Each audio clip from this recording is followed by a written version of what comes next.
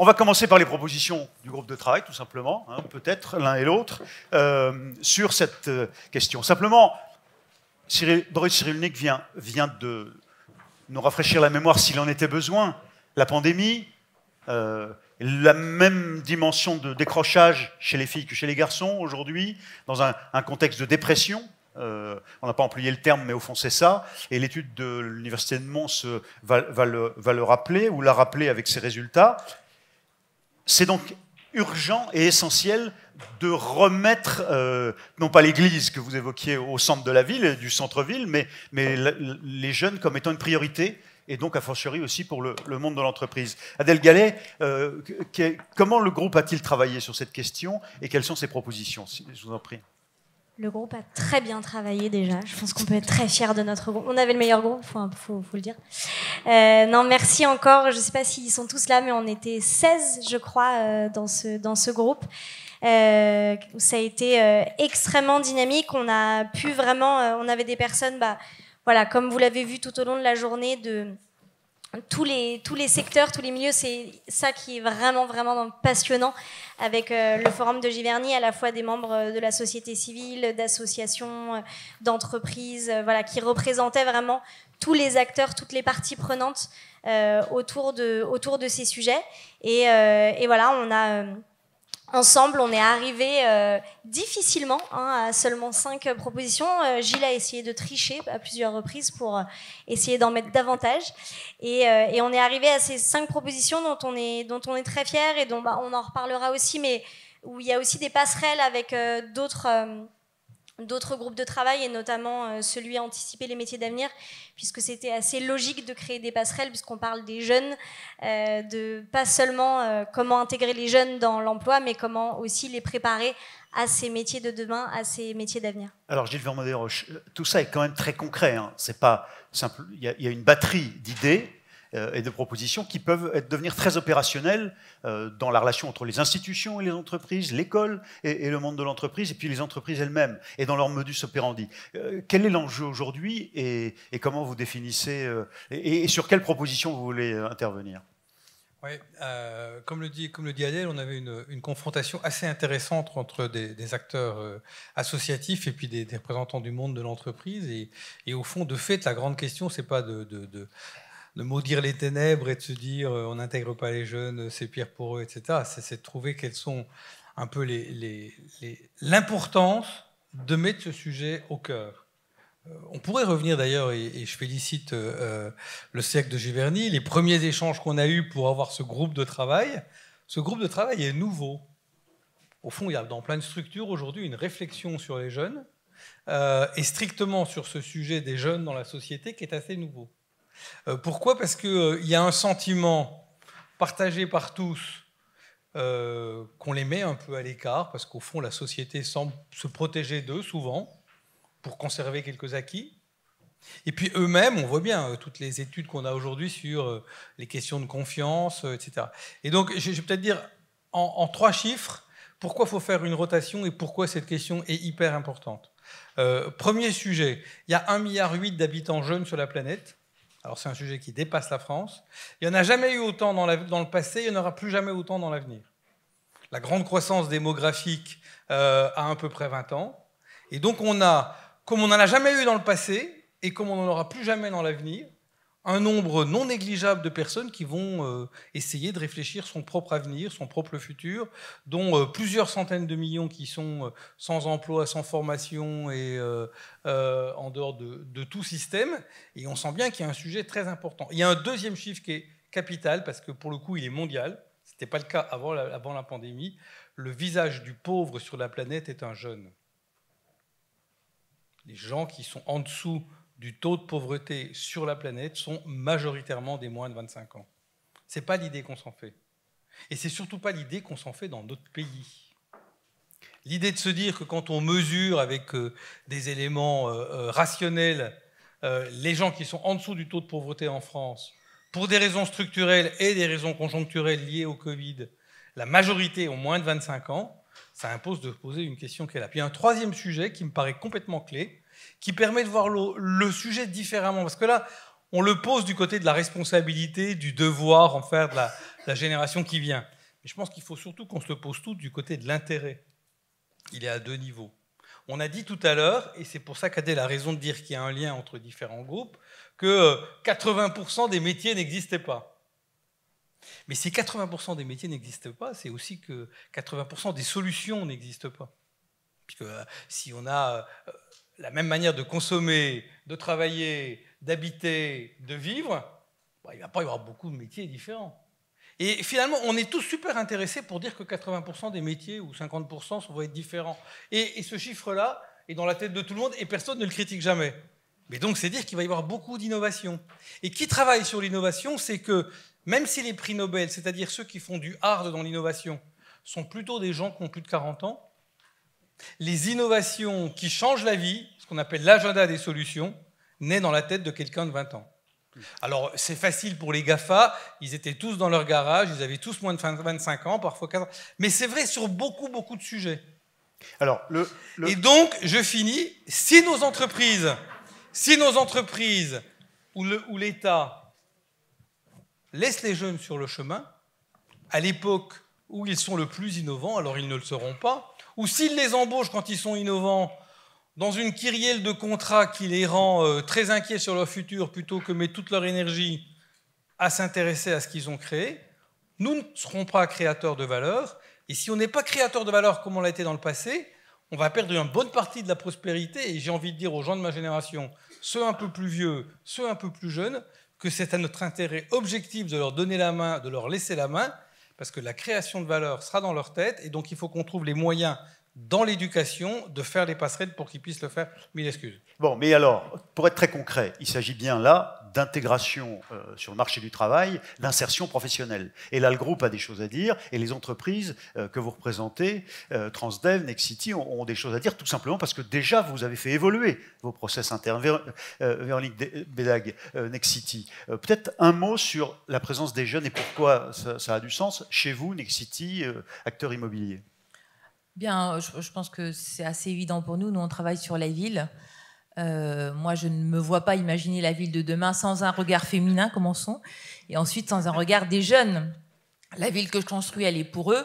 Donc moi, j'ai pas, j'ai pas tellement de sujets. J'ai juste besoin d'eux. J'ai besoin de ce regard-là. J'ai besoin de cette énergie. Ils ont une énergie qui est quand même. Euh, et pour construire la ville de demain, ils portent très naturellement. Euh, enfin, c'est au fond d'eux des choses que moi je suis obligée d'aller tirer peut-être dans d'autres générations. Donc moi j'en ai juste besoin. Bon, mais alors, qu'est-ce que vous faites de nouveau au regard de l'urgence? Parce que quand même, ça, ça s'est accéléré depuis, depuis un an et demi. Écoutez, nous, on a travaillé euh, d'abord la porosité de l'entreprise. Moi, je pense qu'il faut ouvrir les portes de l'entreprise tout grand euh, aux jeunes. certains jeunes ont un accès facile à l'entreprise, hein, c'est assez culturel, d'autres moins. Et nous, on a fait, il y a, il y a trois ans, je crois à peu près, on s'est investi, par exemple, dans les stages de troisième. Stage de troisième, moi j'ai une vieille expérience quand j'étais à la ville de Paris, arrivait au mois de septembre des cohortes de jeunes qui n'avaient pas trouvé de stage, parce que simplement leurs parents n'avaient pas les relations. Et donc dans la ville, on récupérait beaucoup, beaucoup de jeunes avec les moyens de, de management qu'on avait. Donc chez Nexity, on s'est engagé, on a 300 jeunes tous les ans. Euh, et puis on a des accords avec certaines villes, Aubervilliers, Saint-Ouen, et on les intègre chez nous ça leur fait du bien, mais je vous assure, ça nous fait un bien fou à nous aussi. Vous verriez Nexity au moment de ces stages de troisième, c'est pas la même boîte. Vous rentrez chez Nexity à ce moment-là et c'est pas la même boîte. Il y a une sorte d'énergie, ils viennent nous challenger, ils sont pas d'accord, euh, ils découvrent la ville, certains découvrent Paris. Non, c'est un moment d'énergie euh, incroyable. C'est pas tous des enfants, des copains, des salariés? Ah non, ça c'est en fait non parce que c'est des choix géographiques ce sont des jeunes qui viennent des QPV. Voilà. Donc, euh, non, ce ne sont pas les, salariés de les enfants des salariés de Nexity. Ça peut être le cas autrefois, c'est plus facile évidemment. Mais non, là vraiment, on va chercher euh, les enfants. Euh, beaucoup des villes où on travaille, c'est normal, hein, via la fondation. Et donc ça, c'est un moment extraordinaire et très efficace pour nous. On reviendra sur la formation. Je faisais un peu de provoque, mais c'est parce que vous m'avez expliqué que vous étiez très volontariste en la matière, que vous vouliez chercher justement ailleurs que dans ceux qui naturellement pouvaient accéder euh, à ces stages. Et, et alors cette logique d'insertion aussi dans une entreprise de transport euh, qui parfois répond à la solution du car, euh, du car scolaire, évidemment souvent chez Transdev. Exactement, car scolaire qui m'a permis de faire des études jusqu'à 18 ans en vivant dans un village de 600 habitants. Et c'est vraiment, je pense, le dispositif dans l'ordre, non loin d'ici. Et c'est un dispositif qui, qui, qui, a favorisé, en tout cas, et qui aujourd'hui est très prégnant sur le territoire. On le retrouve partout sur le territoire. Et ça, ça me permet d'illustrer en fait deux, deux, aspects. Le premier, c'est nous, chez Transdev, donc on est leader mondial du, transport et de la mobilité dans, le monde entier. On est présent dans 17 pays, 93 000 personnes. En France, c'est peut-être pas assez connu, mais on, a 34 000 personnes sur l'ensemble du territoire. On a 10% de jeunes au jour d'aujourd'hui. Et on a deux problématiques. On a celle des, métiers en pénurie, celle des conducteurs. Alors, est-ce que euh, vous avez tous conscience, est-ce que ça vous fait rêver d'être commandant de bord d'un bus ou d'un car? Euh, comme on peut être commandant de bord d'un avion. Euh, c'est un petit peu différent dans l'approche. Et on a aussi euh, donc des hommes et des femmes au service des hommes et des femmes, et on a aussi des, des, évolutions technologiques qui sont liées à la transition énergétique et écologique, et qui nous emmènent à la fois dans notre première raison, c'est d'éviter que des gens prennent leur voiture de manière individuelle et qu'on puisse les embarquer dans le, le transport collectif dans le transport public, avec euh, évidemment cet impact de crise euh, sanitaire qui a eu un effet très impactant par euh, peur, par envie de changer, de changer de mode de transport. Hein. On va du, ferroviaire au tramway en, allant jusqu'au mode actif au vélo. Le vélo a pris une, une, place de plus en plus importante. Les vélos assistance électrique vous permettent d'aller plus loin.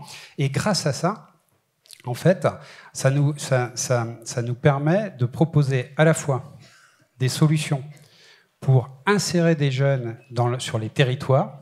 Je peux vous citer euh, l'exemple du, Sud Avenois, où on a monté euh, depuis 2017 d'abord une expérimentation, euh, une co-construction en fait, pour créer un dispositif de mobilité pour permettre aux jeunes qui sont éloignés de l'emploi d'accéder à l'emploi, de savoir comment utiliser les moyens de transport pour, euh, pour accéder à l'emploi. Et on a mis à disposition avec la région et avec la communauté de communes du Sud-Avenois, on est dans le territoire minier des Hauts-de-France, on a mis à disposition du transport partagé, avec du covoiturage pour aller sur l'emploi. On a mis à disposition des vélos électriques et on a mis à disposition aussi des, des moyens de transport à la demande pour aller vers l'emploi. Ça, ça a permis, in fine, de créer un dispositif pérenne que la communauté de communes, dans le cadre de la loi d'organisation des mobilités, a pu s'emparer de la compétence. Et donc, on continue à avoir un, dispositif pérenne. Et on a embarqué, à travers des dispositifs à la fois digitaux, à la fois euh, euh, simples, hein, comme des maisons de mobilité, pour expliquer tout simplement à des gens qui n'ont pas les moyens d'avoir du digital comment on, on rejoint son emploi. On a transformé 25% des gens qui étaient passés par les maisons de mobilité, ils ont ils ont accès à un nouvel emploi. Et on a globalement 60 à 70% de gens qui sont passés par le dispositif qui sont des jeunes. Il y a un constat qui touche les jeunes, évidemment. Il y a un constat que vous faites tous, euh, soit dans vos entreprises, soit de façon transversale dans le groupe de travail, qui est qu'au fond, on le sait bien, il y a une très grande tension euh, et disparité entre les besoins des entreprises et la réalité de la formation, et donc ça éloigne les jeunes. Et ça rétablit, ou euh, en partie, l'intérêt pour l'apprentissage. Dans vos deux entreprises, vous êtes très en pointe là-dessus, je voudrais que vous nous disiez un peu ce que vous faites, et qu'on revienne aux propositions du groupe de travail après, euh, pour améliorer encore la relation entre l'entreprise et l'école, ou l'entreprise et les jeunes. Alors, chez, chez, Transdev, donc, euh, notre deuxième rôle, en fait, c'est d'être une entreprise, donc on recrute on recrute et on a des métiers qui se transforment. On a des métiers qui se transforment à la fois dans la maintenance, puisqu'on passe du véhicule diesel au véhicule électrique, euh, qu'il soit euh, à batterie ou hydrogène demain. Mhm. Et on, passe également sur des, sur, sur des métiers en pénurie, comme je l'ai dit, sur des conducteurs. Si juste un ordre d'idée, 20 000 conducteurs manquent aujourd'hui en France. 20 000 20 000. Euh, Mais parce que les jeunes ont peur aussi de s'y impliquer dans ces métiers? Alors, on, on, a déverrouillé des choses. On a déverrouillé d'abord euh, la possibilité de, passer le permis euh, transport de voyageurs dès l'âge de 18 ans, d'avoir des dispositifs de tutoring jusqu'à l'âge de, 21 ans. C'était un peu plus tard dans la carrière, vous vous souvenez, il y a une époque où on avait le service militaire, puis on était formé par l'armée, puis il y avait des gens sur le marché pour, pour avoir les permis euh, de, transport. Aujourd'hui, c'est plus, plus le cas. Donc, qu'est-ce qu'on a fait? Ben, On a utilisé le dispositif de centre de formation pour apprentis. C'est ce qu'on appelle l'Académie by Transdev où on a euh, euh, créé des dispositifs euh, assez agiles, en fait, hein, parce qu'en en moins d'un an, on en a créé neuf sur l'ensemble du territoire national. On a déjà, dès la première année, on avait formé 82 apprentis. alors c'est une formation diplômante de type CAP, les, jeunes sont, sont, payés, on utilise les, les systèmes d'OPCO et, qui sont mis à disposition pour les entreprises. Et on a créé le premier à, Saint-Étienne, autour du, réseau de tramway de Saint-Étienne. On en a créé euh, un petit peu partout en France au jour d'aujourd'hui. On est euh, aujourd'hui sur un, niveau euh, d'apprentis de, l'ordre de 300 par an. en termes de formation en, un an et demi. Donc on est capable d'aller très vite dans ces dispositifs, de faire des partenariats et des alliances pour aller vite dans ce dispositif. Alors sur vos métiers en tension, vous aussi, et, les CFA, et, cette euh, volonté de pousser l'apprentissage, Véronique Bédaille Bien, En fait, c'est venu de la demande des jeunes parce que, vous l'avez compris, nos métiers à nous, hein, les métiers de la ville, euh, je fais du logement, je fais du bureau, je fais du commerce, je fais des quartiers, ce sont des métiers de passion. Et donc, quand on entreprend d'ouvrir les portes de l'entreprise aux jeunes, ils ont envie de construire cette ville-là. Ils ont évidemment envie d'être cette aventure. Puis on a une fondation qui, qui vraiment montre aux jeunes. On entraîne les jeunes sur nos chantiers. On montre ce qu'on fait avant, après. On, montre quand, quand il y a des gens dans les logements. À un moment, nous, on tend une clé hein, à quelqu'un d'un logement. C'est une très jolie histoire. Et donc, ils se sont tournés vers nous. Ils ont dit, ben d'accord, mais nous, on veut être formés. Et donc, euh, ben, on n'avait pas grand-chose. On avait... Puis donc on a commencé à financer euh, des écoles de la deuxième chance à Marseille, à Paris. Et puis un jour on s'est dit mais en fait on va prendre notre destin en main. On est beaucoup plus petit que vous. Hein. Nous on est 8000 sur tout le territoire, mais on est, je suis pas une PME, mais je suis une grosse, voilà. Donc on est plus petit. Euh, on, a décidé qu'on finançait deux CFA, donc 40, euh, 40, 40, étudiants au fond, euh, sur les métiers en tension que sont les métiers de développeurs, hein, ceux qui vont chercher du foncier, donc ça c'est sur trois ans, et sur les métiers commerciaux sur deux ans. Et ça, et, alors on fait très attention parce que par exemple sur les CFA, quand il y a des candidatures, on reçoit les candidatures dans la journée, on les traite dans la journée, on donne la réponse le soir. Le soir même. Oui parce que moi, euh, je suis très, vraiment, je suis euh, très blessée quand les entreprises ne répondent pas aux jeunes. Alors j'imagine qu'il y a des jeunes dans la salle, ceux qui euh, ont envoyé des CV à qui les entreprises n'ont jamais répondu ne vont pas lever le doigt parce que là on va avoir une forêt de, de mains qui se lèvent. Je trouve ça insoutenable. Donc moi, je pense qu'il faut vraiment. Comment vous faites pour tenir euh, la journée? Bon, on est une petite boîte quand même. Hein, c'est 40, 40, 40 apprentis. Hein, donc on travaille, on a les candidatures et on les traite dans la journée. Et on répond le soir même. Euh, c'est une sorte de. Nous, on est une entreprise agile. On prend des décisions rapidement et au fond, euh, ça c'est beaucoup mieux et c'est enfin voilà il faut vraiment aussi euh, avoir ce respect là de la réponse de la réponse rapide pas le jeune qui appelle 15 fois en demandant est-ce qu'un jour j'aurai une réponse et quand et on n'en sait rien c'est insoutenable alors, Adèle, euh, comment resserrer les liens formation, école, mais pas que l'école, l'ensemble de, l'univers qui forme, entreprise? On, en a beaucoup parlé euh, pendant notre groupe de travail, évidemment, et euh, on en a parlé. Alors moi, ce qui est un peu, c'était un peu mon, obsession, mais c'est comment est-ce qu'on les forme, encore une fois, pas, seulement à, à, intégrer une entreprise, mais comment est-ce que on fait un peu, vous savez, ce, concept de leapfrogging. C'est on va encore plus loin, on, les, on, saute une évolution, on saute une, une, une étape, une, étape et, euh, et, on leur permet d'intégrer des métiers qui vont avoir du sens pour eux et du sens pour la société, la planète, etc. Et donc, comment resserrer ces liens?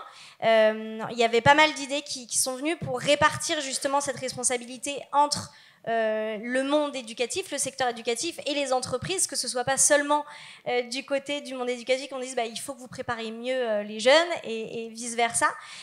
donc notamment on avait évoqué le fait dans le service national universel d'intégrer en fait vraiment une formation autour de, ces enjeux-là, de l'intégrer dans le service civique aussi, mhm. d'avoir vraiment une valorisation aussi des, de tous les engagements des jeunes. Aujourd'hui les jeunes s'engagent dans leur vie personnel et dans leur euh, parcours éducatif très tôt. Euh, et c'est des choses qui sont pas valorisées ensuite dans leur CV. Quand euh, vous recevez les, CV, peut-être que c'est c'est pas valorisé. Donc de valoriser tout ça. Et du côté de l'entreprise, il y avait cette volonté de rajouter dans les indicateurs RSE cet indicateur d'éduquer l'entreprise, les salariés à ces enjeux de société, ces enjeux environnementaux, sociaux, pour voilà, accueillir les, les jeunes, euh, évidemment dans un emploi, un emploi durable. Et en fait, un emploi durable, c'est un emploi qui va les épanouir, où ils vont vouloir rester longtemps et qui va euh, ne pas être obsolète dans quelques années, donc répondre euh, aux enjeux urgents et importants qu'on sait tous, on, est en train de, de, vivre et d'affronter. Gilles Vermont-Desroches. Quand on écoute Véronique et Édouard, et, moi j'ai à peu près la même expérience chez Schneider Electric, on voit, quand on rentre dans une dynamique et quand les entreprises parlent de l'accueil des jeunes, la joie qu'elles ont de le faire.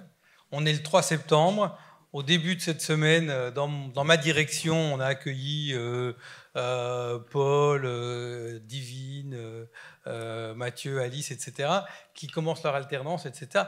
De fait, une société qui n'intégrerait pas de jeunes dans, ses équipes s'endormirait. le fait d'accueillir, de devoir redire, d'avancer, etc. Premier point, on est, joyeux de ça. Deuxième point, bah, ce n'est pas suffisant. Et pourquoi on fait des propositions? Parce que euh, force est de constater que le niveau de chômage des moins de 25 ans est le plus, le plus important en Europe est en France, d'un ou deux points, parfois de plus, que euh, les, moins de 25 ans, les moins de 30 ans sont trois fois plus au chômage en France euh, que les autres, et que par ailleurs, sur les enjeux de contrat de travail, on n'est pas toujours très doué pour faire en sorte de rapidement leur mettre le pied à l'étrier et être content. Et donc ce groupe, il essaye de partir des opportunités de la joie qu'on voit de faire cet accueil pour essayer de, casser les blocages. Il y en a un, par exemple. Aujourd'hui, dans les filières professionnelles, on a l'habitude de travailler entre fournisseurs, clients, pour arriver aux produits finis, des logiques de qualité, d'échange. Dans le développement durable, on parle de dialogue de parties prenantes. Lorsqu'il est question de former un jeune pour l'entreprise, on est dans des silos. Un peu comme si l'entreprise avait pris l'habitude de ne vouloir embaucher que des produits finis et de ne pas contribuer à la formation. Et un peu comme si ceux qui proposent euh, les jeunes euh, vers l'emploi, c'est-à-dire qui finissent l'enseignement, veulent faire le produit fini sans jamais demander au client, j'aime pas ce mot-là, mais sans jamais demander à celui avec qui il travaillera qu'est-ce qu'il attend, comment faut faire, etc. La plupart de nos propositions essayent de rentrer finalement dans cette dimension de logique partie prenante, de dialogue, d'échange qu'on a dans le développement durable sur plein de sujets, pour dire il faut faire rentrer les gens d'entreprise dans, dans, les, dans les écoles, pour dire leur métier, pour dire ce qu'ils font, pour donner envie. Il faut donner aux jeunes le plus tôt possible l'envie d'innover, l'envie d'être patron, l'envie d'être euh, entrepreneur, euh, et puis aussi l'envie de rentrer dans l'entreprise. Il faut accompagner les professeurs pour qu'il n'y ait pas ce monde entre le monde de l'enseignement et le monde de l'entreprise. Si on parle des innovations de demain, si on parle des, des, nouvelles solutions, et que les profs ne sont pas euh, connaissants de celles-ci, euh, informés de celles-ci, ça ne va pas. Quand on est chez, euh, chez Schneider Electric et qu'on a pris ces sujets-là, on s'est donné au moins 3-4 enjeux. D'abord, on a un CFA, on a doublé, triplé le nombre de jeunes, et maintenant on fait en sorte qu'ils ne soient pas seulement à Grenoble, mais aussi à Strasbourg, Paris, etc. Parce que c'est un beau lieu, y compris pour des salariés de l'entreprise, de devenir enseignants. On a décidé qu'entre aujourd'hui et 2025, on doublerait le nombre de stages, euh, euh, apprentis, euh, doctorants partout dans le monde, évidemment en France, partout dans le monde, et puis aussi un programme de contribuer à la formation de ce qu'on appelle dans le monde les gens de la base de la pyramide, 1 million de jeunes avant 2025. C'est dire qu'il nous paraît, et c'est une autre mesure qu'on propose et dont Adèle vient de parler, que finalement, quand on parle des responsabilités sociales de l'entreprise, on en parle depuis ce matin, il y a très peu euh, la dimension éducative de l'entreprise ou la contribution de l'entreprise à la formation euh, des jeunes d'aujourd'hui et à la création des métiers de demain est très peu valorisée dans les enjeux de RSE, de SG, développement durable. Et au fond, de la même manière que sur le climat, on a compris que l'agenda des solutions euh, passait par les entreprises qui changent et qui prennent ce sujet pour aller dans cette direction probablement pour construire la société de demain et permettre à tous ces jeunes euh, de s'y épanouir et de permettre sa prospérité, dans l'enjeu social, il faut remettre au cœur de la responsabilité de l'entreprise la participation à l'enjeu de formation. Euh, pour ceux qui sont les plus vieux ici, quand on était juste après-guerre, toutes les entreprises ont beaucoup contribué à cette démarche-là, parce que c'était nécessaire, parce qu'il fallait euh, contribuer. Puis il y avait beaucoup de nouveaux métiers, etc. Et eh ben on est à peu près à un même moment, la guerre n'est pas la même, et eh ben, globalement, il faut pouvoir remettre au cœur des objectifs de premier niveau de la responsabilité sociale de l'entreprise comment elle contribue à faire en sorte que les jeunes, tous, pas seulement, et il faut s'occuper de ceux-là, ceux qui, comme ceux qui sont ici, euh, ont envie euh, d'avoir un métier à impact, euh, de changer le monde et d'utiliser leurs compétences pour faire quelque chose qui a du sens, ça, il faut vraiment faire de nos, entreprises des creusets pour qu'ils puissent grandir, pour y rester ou pour faire autre chose d'ailleurs, c'est sûr. Mais il faut aussi que nos entreprises sachent aussi tendre la main à tous les autres dont elles ont besoin. Si vous étiez à l'université du MEDEF la semaine dernière, tous les signaux sont au vert. Économiquement, c'est quand même un peu fou après ces, cette année et demie euh, qu'on vient en matière de, de reprise, vous voulez dire. En tous les cas, on est là en termes de reprise. Tous disent, que ce soit des acteurs publics ou des acteurs privés, la seule inquiétude, c'est que peut-être on n'aura pas, pour, pouvoir les, pour pourvoir les emplois dont on a besoin aujourd'hui, les ressources qu'on veut aujourd'hui, on ne pourra pas rentrer dans cette démarche-là.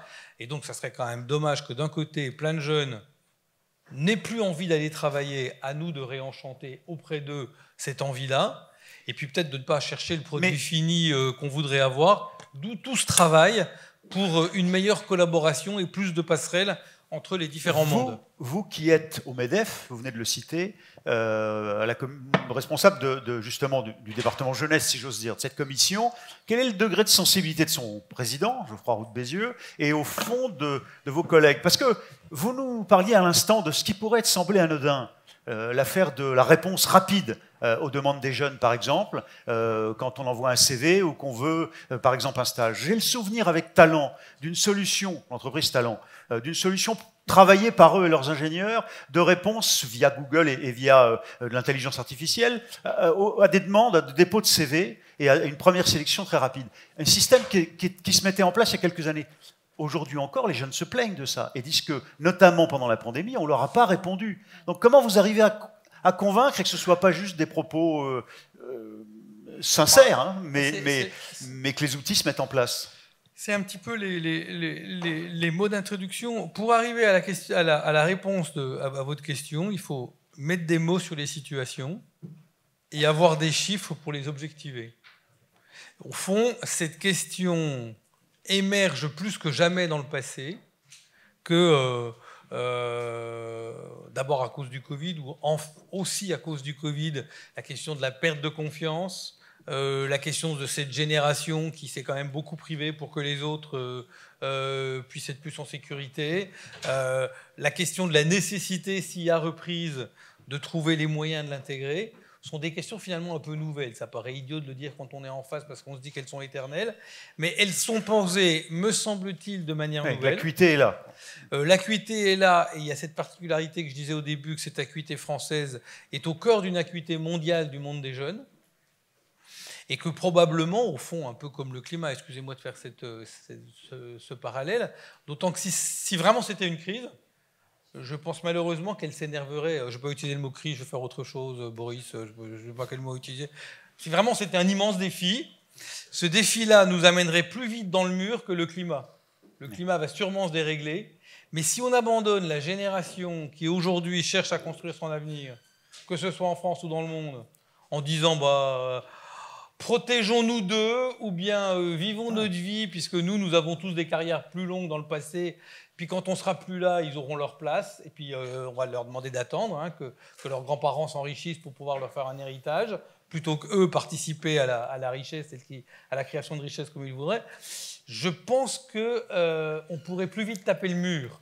Et donc, il me semble qu'on est à un moment où toutes les organisations doivent se dire ça et que maintenant, il faut qu'on trouve, et c'était l'enjeu de nos cinq euh, projets, des points précis pour faire en sorte que quand des jeunes rentrent dans l'entreprise, ils ne passent pas leur vie à attendre que euh, tous les autres aient fini d'avoir envie de travailler pour qu'on leur donne quelques responsabilités. Premier point, ça c'est essentiel, y compris comme le disait Véronique pour la vitalité dans l'entreprise. Euh, deuxièmement, pour ces innovations, pour ces métiers de demain, que l'entreprise aille jusque dans l'école et puis qu'on invente ce dialogue qui, euh, on est heureux en France de dire que les profs et les entreprises n'arrivent pas à dialoguer. Il faut qu'on soit heureux de dire qu'on arrive à faire des dialogues. C'est du concret, c'est du local, etc. Il faut que chacun s'y mette. Et euh, je suis sûr qu'il y a des gens de bonne volonté des deux côtés. Faut Au fond, vous avez tous dit qu'il y avait urgence. Euh, vous avez essayé de montrer en quoi vous vous y attelez aujourd'hui euh, pour répondre euh, à ce besoin et, avec la prise de conscience de, la situation difficile dans laquelle sont les, jeunes. En conclusion, tous, en une phrase, si vous voulez bien, qu'est-ce que vous diriez, que vous voudriez qu'on retienne de, l'espoir que vous essayez de nous donner, au fond, que, la conscience est là, Ok, on en a pris conscience et maintenant il faut embrayer. Véronique Bédac, je, vous en prie. Nous, on a l'impression d'embrayer tout le temps hein, pendant la crise du Covid. Ce qu'on a fait tout de suite, mais c'est l'avantage des boîtes un peu plus de taille peut-être plus simple que d'autres. Euh, nous, pendant la période du Covid, euh, on a obligé euh, tous nos managers et les DRH à prendre systématiquement un CV de moins de 26 ans sur tous les postes qu'on ouvrait. alors évidemment, tous les postes n'étaient pas forcément cohérents avec des moins de 26 ans, pas grave du tout. ça permettait à ces jeunes d'avoir un entretien. Moi, je suis, de le prendre le CV et de faire quoi avec? Ben, D'abord, on, regardait de les CV. de le recevoir D'abord, on, recevait. L'obligation que Alain Dinin nous avait donnée, c'était de les recevoir. Donc, les recevait. Et nous, on recrute. Hein. je vous la fais. Euh, voilà, vous êtes tous les bienvenus. On recrute. Et donc, forcément, on voyait quelqu'un et nous, on, on recrute comme ça. C'est-à-dire que sur un poste, on se dit tiens, celui-là, euh, on, pas là, mais peut-être ailleurs. Et puis quelquefois, on a choisi le jeune parce que tout à coup, euh, euh, je, vous l'ai dit, on est un métier de passion. Moi, j'ai besoin que, dans, le combat qu'on est en train de mener sur le bas carbone, j'ai besoin de passionnés auprès de moi, sinon c'est trop dur. D'accord? Ce que vous disiez tout à l'heure, c'est-à-dire que quand il y a du sens, l'effort est, là quand même, mais l'effort est tellement plus facile au fond. Donc moi, voilà, je, il faut bouger vite, il faut, il, faut qu'ils nous aident avec leur énergie et ils y croient. voilà, il faut qu'ils nous aident à bouger. Très bel exemple. Edouard Reynaud, euh, une phrase, conclusion. Alors, je vais essayer. Moi, je voudrais illustrer deux, choses. Les alternants. 700, euh, plus de 700 alternants en 2020, 850 en 2021, 1000 en 2022. Donc, on voit bien que la machine ne s'est pas arrêtée. Et ça a été plus dur, hein, parce que c'est compliqué d'animer euh, des jeunes avec du non présentiel à distance, de leur donner du sens. Et ça, c'est ce qu'on cherche, donc du développement de mécénat de compétences. Puis je vais vous illustrer à travers du tramway. Dans le tramway, euh, à Nantes, mais sur d'autres réseaux, vous pouvez, en étant étudiant, soyez en médecine, dans le droit, dans, des écoles d'ingénieurs, vous pouvez euh, devenir conducteur de tramway. Et vous pouvez consacrer entre 35 et 70 jours par an dans un CDI annualisé, payé comme euh, les conducteurs de tramway. On vous forme et vous pouvez conduire un tramway. Et puis une deuxième illustration sur les tramways, à Dunkerque, vous avez euh, dans le tramway lui-même des écrans où vous avez des offres d'emploi qui sont géolocalisées pour euh, permettre aux gens d'accéder le plus facilement à l'emploi. Et les jeunes qui l'empruntent sont généralement les étudiants. On est content de les revoir parce qu'ils vont rentrer à l'université et dans les écoles. Et j'espère qu'ils vont créer un peu un esprit de promo parce que là, actuellement, c'est assez rare. Gilles, euh, une phrase courte, deux, deux, défis en un. Vous vous rendez compte là Super. Euh, je pense qu'on retravaillera encore avec ce groupe d'une manière ou d'une autre, mais le sujet à mettre sur la table aujourd'hui, c'est le mentorat. Parce que de fait, il ne faut pas non plus oublier ceux qui n'ont pas la chance de ne pas avoir de réseau auprès d'eux. Et le réseau est une bonne partie euh, du chemin vers l'emploi, d'abord de, la compréhension qu'on va aller vers l'emploi, etc. Euh, Schneider avait créé une structure, vous pouvez regarder, s'appelle Sans chance, sans emploi pour pousser au mentorat. Moi, j'aimerais bien aller beaucoup plus loin et dire que dans chaque entretien annuel de chaque salarié Schneider, à la fin de l'année, on lui dit tiens, quel est le jeune que tu as accompagné? En interne comme étant tuteur d'apprenti, en externe comme étant euh, mentor dans le cadre de Sans Chance ou autre chose, ou en étant enseignant. Et il y a deux gagnants. Il y a celui qui est mentor dans la relation qu'il a avec un jeune et cette confrontation qui permet aussi un petit peu de se réveiller. Et puis euh, le jeune qui est accompagné et celui qui n'avait pas la chance d'avoir dans sa famille euh, une proximité qui le pousse, un peu comme le fait Télémac, eh ben, il, aura, il aura ça. Donc je pense qu'on a là une dimension qui est en train d'avancer dans la tête de chacun, qui fait que, et ça c'est essentiel, ça n'est pas la question de l'État, c'est la question de chacun d'entre nous.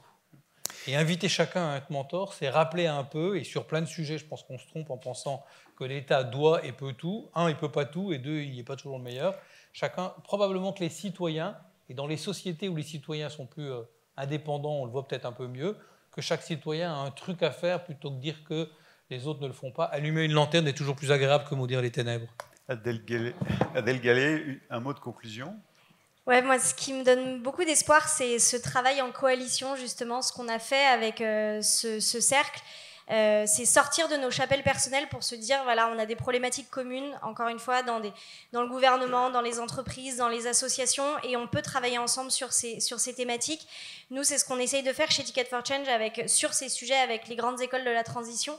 Essayer de fédérer en fait toutes les organisations, tous nos concurrents en fait, toutes les organisations qui, comme nous, essayent de former aux enjeux, aux métiers de la transition se fédérer et en fait se dire bah, travaillons ensemble plutôt que d'aller chercher pour avoir un label chacun, unique en quelque pour sorte. avoir un label public et au lieu d'aller chercher chacun nos, nos sous auprès des mêmes mécènes fédérons-nous ayons euh, une reconnaissance étatique pour mieux accompagner finalement les bénéficiaires finaux puisque c'est ça le, le but et, euh, et, accompagner tous les bénéficiaires finaux encore une fois euh, et je voudrais finir là-dessus ne pas juste accompagner ceux qui sont déjà sur ces sujets, qui ont déjà les réseaux, les financements, qui ont fait les bonnes écoles entre énormes guillemets.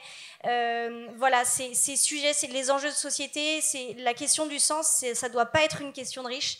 Ça ne doit pas seulement être pour ces personnes-là. Et il y a beaucoup de gens qui essayent de dissocier fin du monde, fin du mois. Et c'est hyper important qu'on les réunisse puisque c'est les personnes aujourd'hui qui ont du mal à boucler la fin du mois qui vont être le plus impactées, on le sait, par euh, ces questions de fin du monde. Donc voilà, s'adresser à tous les bénéficiaires et pas seulement euh, ceux qui sont le plus, privilégiés aujourd'hui. Je voudrais euh, d'abord rassurer Gilles Vermont-Desroches. dès le début, il y a trois ans, du cercle de Giverny, Romain Mouton a souhaité intégrer la dimension jeunesse. C'est le défi Giverny, on le verra dans un instant. Et il a voulu aller plus loin cette année avec ce, cette table ronde et ce groupe de travail. je, vous laisse, je vous laisse conclure de cette façon. Je voudrais qu'on remercie les orateurs de cette table ronde.